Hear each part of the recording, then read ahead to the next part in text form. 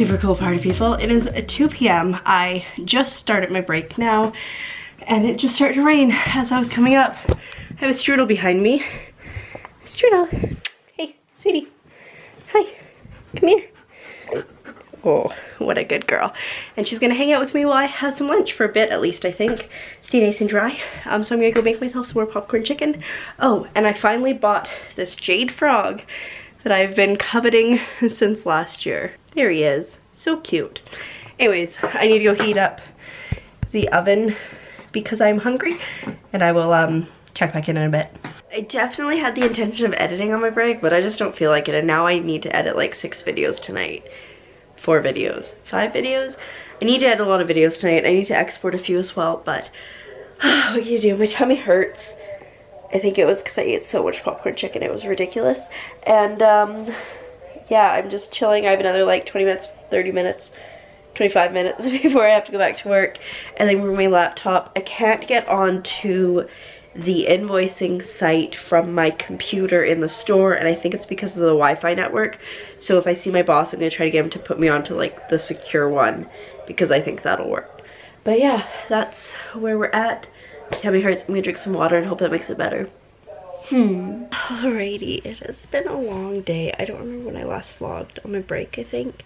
It's um 10 after 9 right now. I've edited all my videos. That's what I've been doing basically since I got off work. Um, except for yesterday's. They are, the first one is currently exporting. I guess I'll just continue to export them. I have to do thumbnails and then descriptions. so much to do, but I'm sure it'll be fine. I want to like sleep but I've done this to myself. This is my fault that because I haven't edited them regularly. This this is my fault. This is my doing. So going to continue to do that and then just be a slug a bed. No, I need to put away my clothes because I'm laying on them.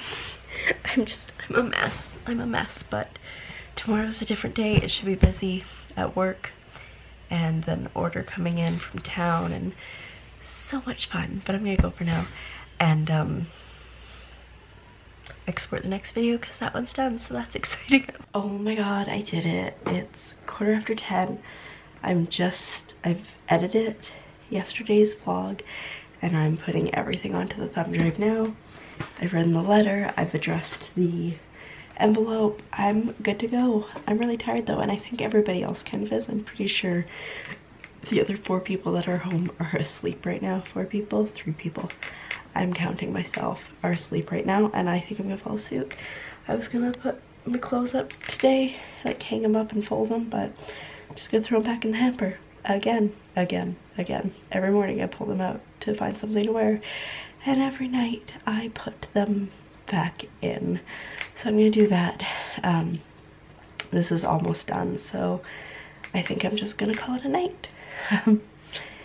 which is very exciting because sleep is great. So with that, I'm going to say thank you so much for coming along on today's adventure. And I'll see you tomorrow when we do very similar things. Good night.